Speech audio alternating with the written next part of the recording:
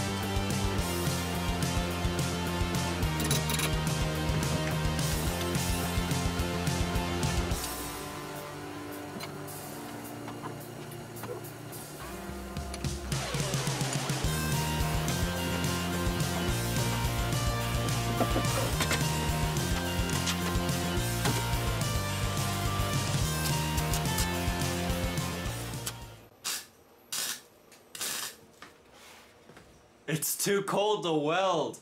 The wire's not coming out. Look at this. It's like coming out. There it goes. Okay. There it goes. Let me see if it'll work.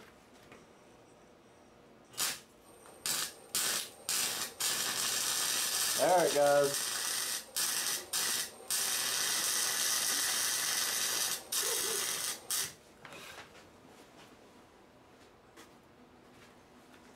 Yeah, this uh, it's too cold to weld. This uh, little welder I use, it's uh, not wanting to work. So it's like it's like somewhere around 17 degrees right now. So it's really cold, and let me see if I can just get it to hold. It's kind of working. A little bit. Looks like crap though, but. Uh,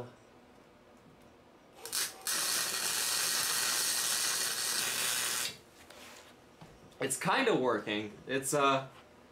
I should really be preheating the metal because, you know, going from 17 degrees to whatever temperature this the welder gets up to, uh, it's having a hard time fusing. So it's working, but it just not working that well. So I'm gonna do these other sides and see if it'll actually, you know, hold.